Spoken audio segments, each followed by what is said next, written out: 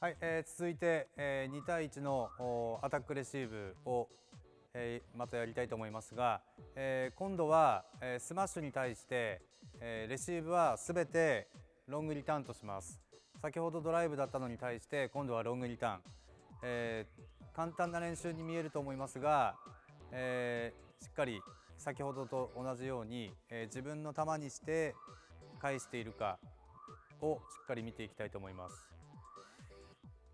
はい、それでは始めます。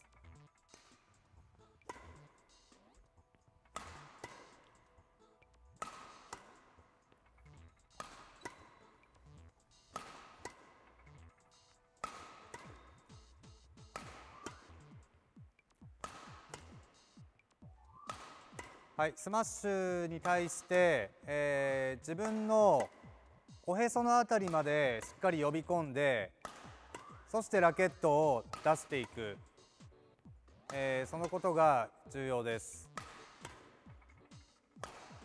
あとは、えーヒット打ち終わった後にまあ、打つ時にですねあのお尻が後ろに出てないか。打ち終わった後に重心が後ろに残らないか、えーこういったところも大事なことだと思います。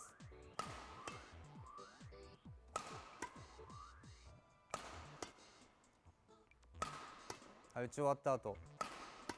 後ろに前前に前に重心をかける。そう。